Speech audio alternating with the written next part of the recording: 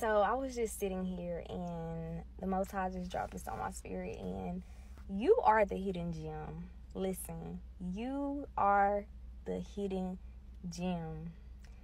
And most of the time, people don't appreciate hidden gems until somebody else finds it, and then that person or whatever it is values and appreciates, you know, that gem.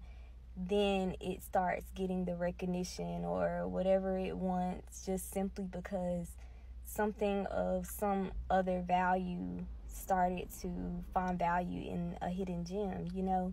And don't let your value be based off of what other people think about you.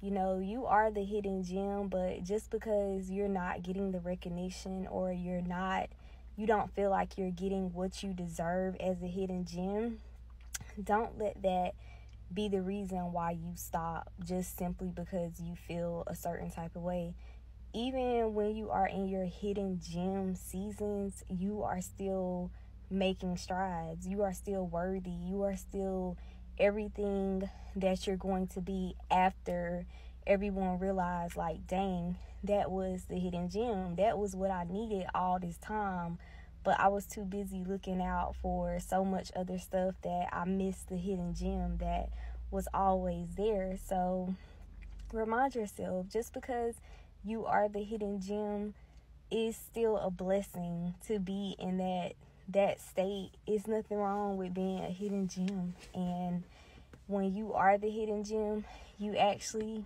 can attract more of what's for you and more of what is in alignment for you, more of what's in alignment with you without all of the other stuff that you don't need. So I really just feel like this is for somebody you are the hidden gem and it doesn't matter what anyone else thinks about your journey or your life path right now. What matters the most is that you understand and that you have been revealed, God has revealed to you who you are. And that way you can stand strong in being who you are without all of the extra stuff that you think that you need right now.